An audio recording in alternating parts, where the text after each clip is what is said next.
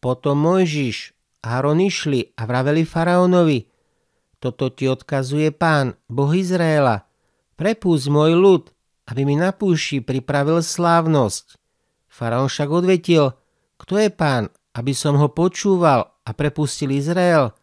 Pána nepoznám a Izrael neprepustím. Vtedy mu povedali, zjavil sa nám Boh Hebrejov, máme ísť na tri dni cesty do púšťa a tam priniesť pánovi, nášmu Bohu obetu, aby nás nenavštívil morom alebo mečom. Ale egyptský kráľ im odvetil, Mojžiš Áron, prečo chcete odviezť ľud od jeho práce? Len chodte za svojou robotou. A faraón ešte hovoril, ľudu v krajine je veľa a vy by ste im chceli dožičiť odpočinok od robot. A v ten istý deň faraón prikázal dozorcom a predákom ľudu. Na budúce nedodávajte ľudu slamu na výrobu tehal ako doteraz. Sami nech si idú nazbierať slamy, ale vy žiadajte od nich také množstvo tehal, aké vyrábali doteraz. Nič im nezlavujte, lebo sú leniví. Veď prečo kričia, chceme odísť, chceme obetovať nášu Bohu? Robotov treba týchto ľudí pritisnúť, aby sa starali o ňu a nestarali sa o hlúpe reči. Dozorcovia prác a zapisovatelia šli a povedali ľudu. Toto hovorí faraón, slamu vám už nedodám. Sami si chodte zbierať slamu, kde nájdete. Z vašej úlohy sa však nič nezlaví a ľud sa rozprchol po celej egyptskej krajine zbierať slamu na tehlu.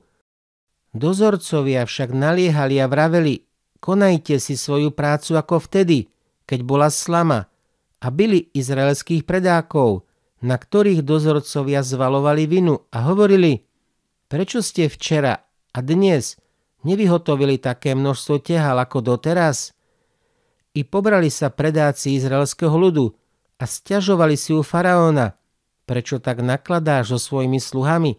Slama sa nedodáva tvojim sluhom, ale tehly hovoria nám, len vyrábajte. Ešte aj bijú tvojich sluhov, veru krivdíš svojmu ľudu.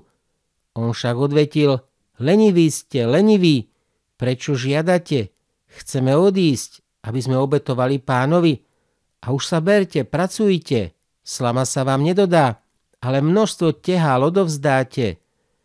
Tu videli izraelskí predáci, že sú v zlom položení, lebo sa im prikazovalo, nič sa vám nezláví z vašej dennej výroby tehál.